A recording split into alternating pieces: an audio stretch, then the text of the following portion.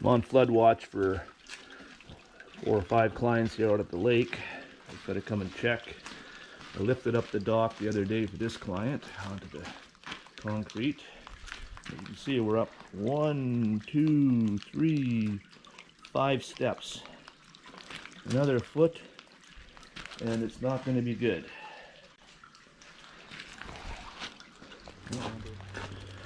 Okay, on this one, ooh, yeah, it's coming up. Dock's way out there. She wants me to clean out the fire pit if it's getting close to it, and it's getting close to it. We got rain the next few days, so I'll clean this out, and that's about all I can do here. On to the next one. Okay, let's check number three place. Raining pretty good now.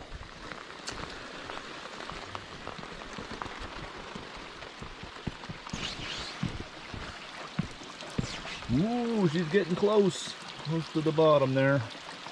Let the client know that, I guess. Whoa. Mother Nature. Dock is up off the guide poles. So hopefully uh, the chains will hold it in place yet. But uh, rain's coming hard, so uh, to be raising quite a bit yet. Some more. Well, I got to go out and uh, raise the overhead door. Water's up about four inches on it, so time to get wet. Whoa, it's cold. Ah, cold.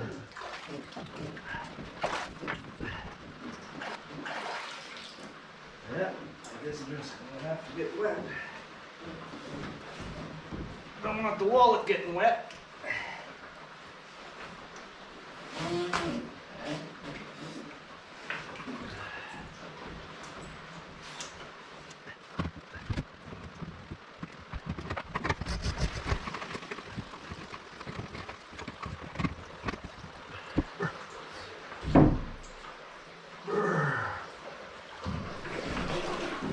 Not exactly warm water yet. Gotta do what you gotta do. Okay, let's see property number four here. How the water's doing.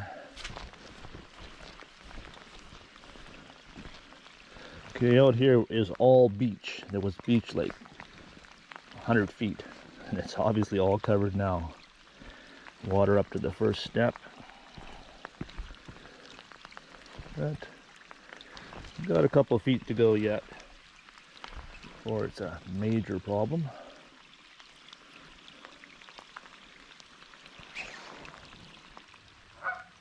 Yeah, on this one I got to lay out this special design barrier between that side, the wall, coming along here and to this barrier post here.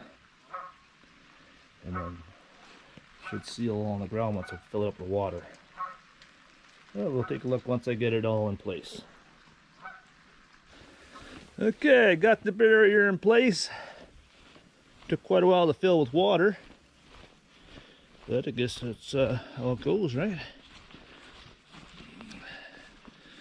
And if the water does come up, but I don't think it's going to get this far, but just in case, we got the barrier, right? Sandbags jammed on the ends. And all on the front. Keep her nice and dry. And then, uh, uh, sandbagged on this end well. This gives us a good extra foot at least. I can pump some more in uh, if it ever does get any risk, risky at all. But done for today. Time for double shot my energy coffee. Hmm.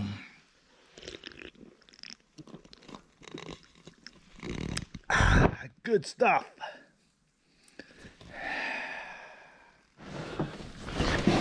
Okay, let the fun begin.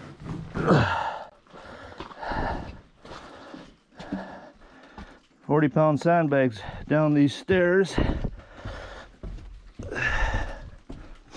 Only got to do about uh, maybe I don't know what 100 200 frickin' times.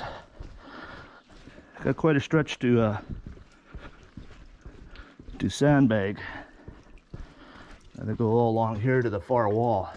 I think it's going to be an all-day project.